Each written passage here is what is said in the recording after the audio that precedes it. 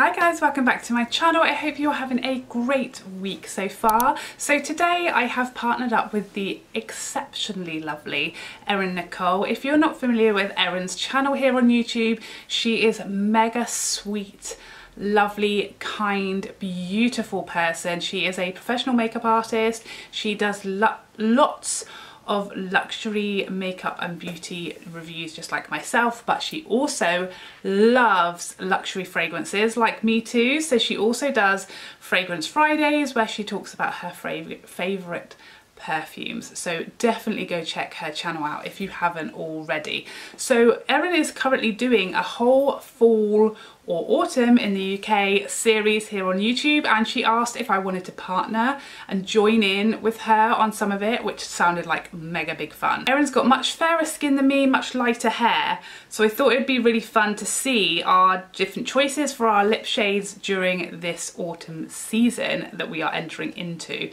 For me I don't necessarily feel like you should listen to the rules when it comes to seasonal makeup. You can still wear whatever shades you like. Personally, I start wanting to wear warmer tones. My skin tone starts getting lighter and lighter during the autumn, um, so I might start changing what sort of shades I use for that reason. What suits my skin tone in the autumn might be slightly different to what suits my skin tone more so in the summer. I also move away from the really glossy, really balmy formulas a little in the autumn um, and will favour more mattes, more satins and generally I just love a warmer tone. I love all the autumny tones, browns, coppers.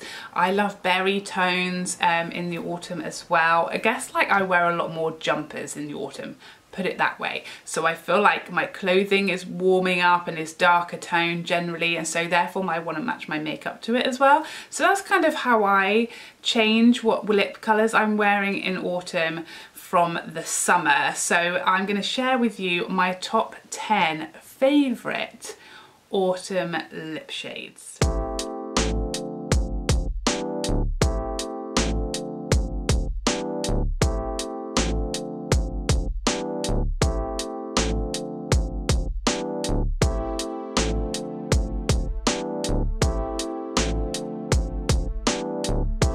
Just want to interrupt you to say that I know that the Liptensity formula has been discontinued from MAC, but the shade Smoked Almond is now available in their regular bullet formula, hence the reason why I'm including it here.